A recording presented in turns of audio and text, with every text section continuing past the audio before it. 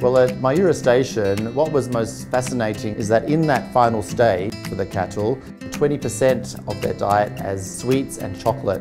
It was quite hilarious because there were sweets that I used to eat as a child in Australia. When they eat the feed, they actually look through for those sweets because they love the sweetness, obviously.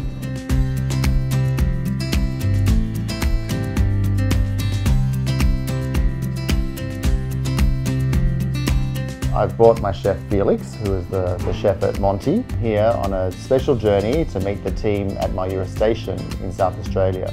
And we've gone there to understand how it all works, uh, to go over the whole farm and really find out why this really is the best Fiorentina.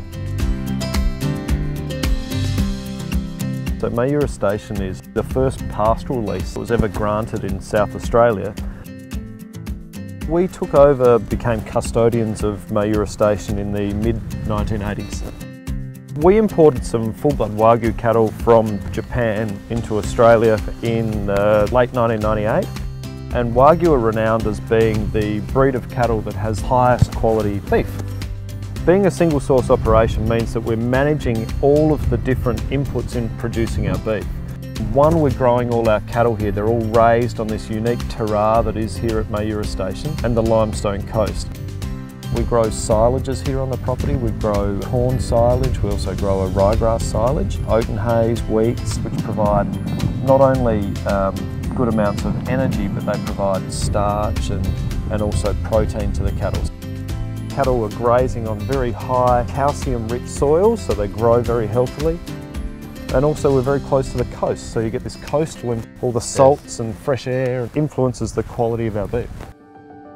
So here at Mayura Station we have 3,000 head of full-blood Wagyu cows. Those cows stay with their mum for the first six months of their life, wean them from their mother and we take them and we put them in a free-range feeding environment. They're um, grazing on the hills but they also get a ration towards the production of our high-quality beef. Uh, we call it a slow growth technique. We get this beautiful fine texture, fine muscle fibres in the meat. And that gives the beef this beautiful silky mouthfeel, is enhancing the marbling. We also include some very novel things in our feeding, which are all about producing a unique flavour profile to Mayura Station, and one of those is including chocolate in the feed. So it gives a beautiful sweetness to the meat,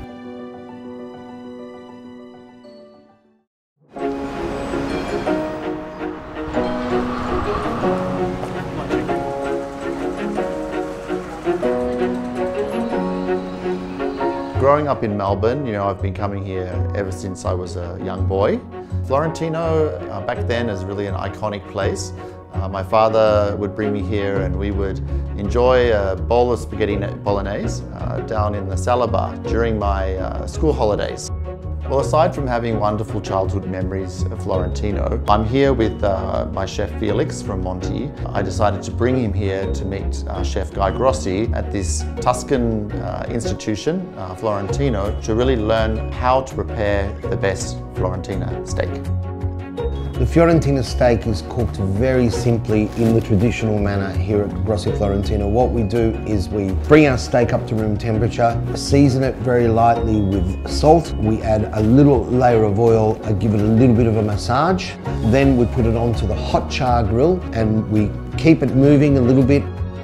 We'll, we'll be putting it on the grill for maybe six to eight minutes on each side. Let it do its thing and let it cook and then rest it well. Visiting Mayura Station changed both Felix's and my um, understanding of the Wagyu and exactly what goes into producing such a premium cut as the Fiorentina.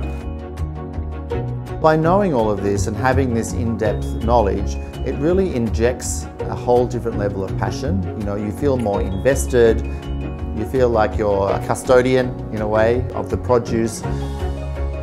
We came away feeling so much more confident and undoubtedly that level of confidence um, translates into more passion, into more spreading the word, so to speak, uh, and ultimately to the best presentation for the customer.